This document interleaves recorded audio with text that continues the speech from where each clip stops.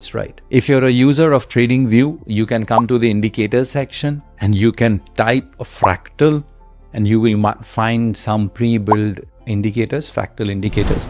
But this concept is by Bill Williams.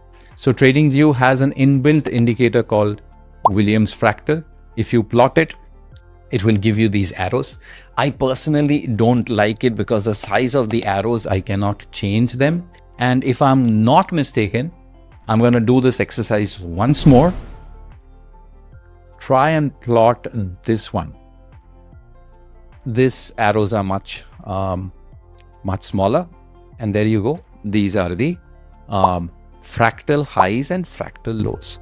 Now, I can, together, we can make some sense that listen, whenever I'm planning to draw a line, I'm going to draw and join these fractal highs only then there'll be some meaning to it. So let's try and do this together. This is where the stock, the chart is at the current juncture.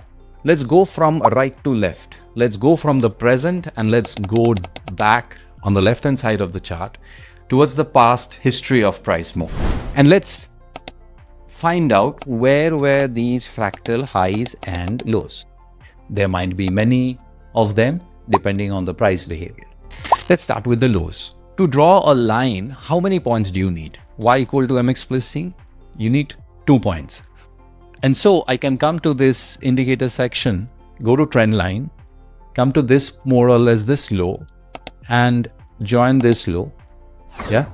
Double click on this and say uh, extend, extend right towards the right.